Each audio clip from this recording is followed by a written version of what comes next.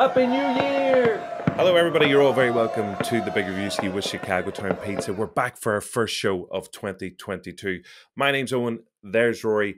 And if one of your New Year's resolutions is to eat lots more Chicago Town pizza, then you've come to the right place because we have got some free pizza just for you.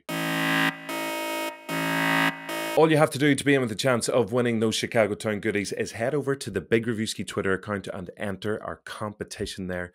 The very best of luck. For this week's show, what we're doing is we're taking a look at our top 10 favorite picks of movies coming out in 2022. There's so many to choose from, but Rory, we're starting off with a little bit of a bang.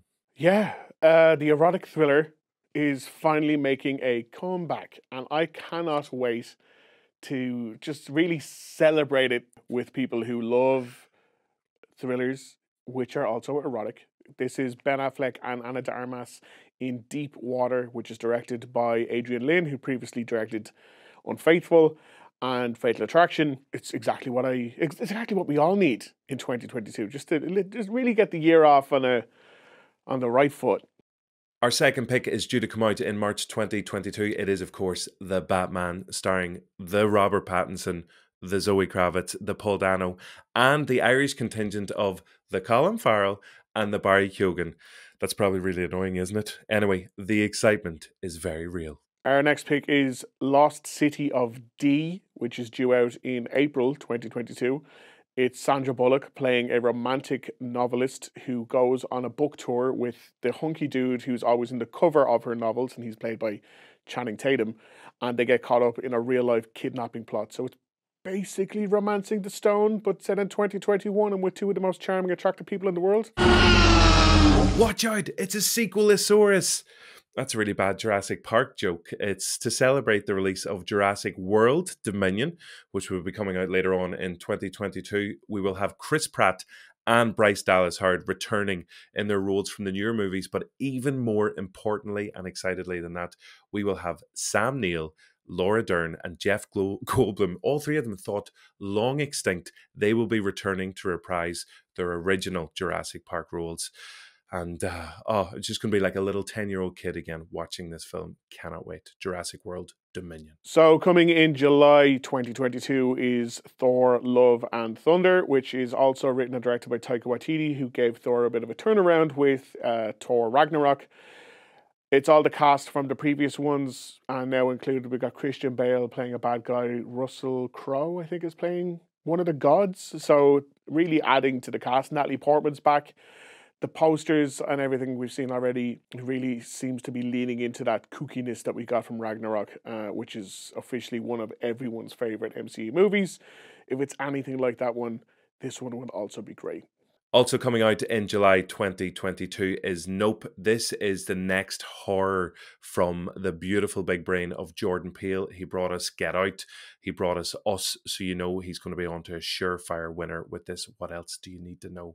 Just go and see it. We almost picked Top Gun Maverick, but instead we're going to go with the other Tom Cruise 2022 blockbuster due out in September. It's Mission Impossible 7. Fallout was one of the best action movies of all time, arguably question mark. So if we can expect something similar this time around, uh, I think we can get very excited about that. And it's actually got some cast members from the very original, like the first one the 96 Mission Impossible is coming back for this one. So I'm excited to see what Tom Cruise throws himself off this time. Due to come out in October 2022 is Spider Man Into the Spider Verse 2, following on from the success of the amazing Spider Man Into the Spider Verse that was released back in 2018. Sony Pictures were so excited about the sequel, they actually greenlit it before the first one was even released, and they were right to do so because everybody loved that amazing movie. Uh, the geniuses, Phil Lord and Chris Miller, are both back there writing this brand new sequel. And even if it's like a quarter as good as that 2018 movie, then we're in for a very tasty treat. Our ninth pick for 2022 comes out in December. I can't believe it's actually. I I like we've been hearing about this for 13 years now, I think, but It's Avatar 2 It's not going to happen. is supposed to be arriving in cinemas December It's not going to 2022. It's not before we gonna get. Avatar 3, 4, 5, and maybe 6, I think. I forget. James talks a lot about the sequels, but apparently two is coming. So still officially the biggest box office hit of all time. Can he do it again? We'll find out in December. Our very final pick of movies to look forward to in 2022. It's oh, we're cheating just a little teeny tiny bit. There were so many amazing films due to come out that we're going to roll all these last ones just into one pick, and you just have to accept it because it's our show and that's just the way it is. So, without further ado, we're also looking forward to. Scream, Belfast, Jackass Forever, Uncharted, Ambulance, Lightyear, Minions, The Rise of Gru, Black Adam, Super Mario Bros., Halloween Ends, A Quiet Place spin-off, Black Panther 2, Aquaman 2, Hocus Pocus 2, Doctor Strange 2, Ant-Man 3, Fantastic Beasts 3, Legally Blonde 3, and John Wick 4. Rory, uh, excited about all of those as well, our number one pick? I'm, I'm like more excited. I'm impressed by the the speed at which you rattled them off, but uh, yeah, every single one of them. Can't wait. It's going to be quite the year.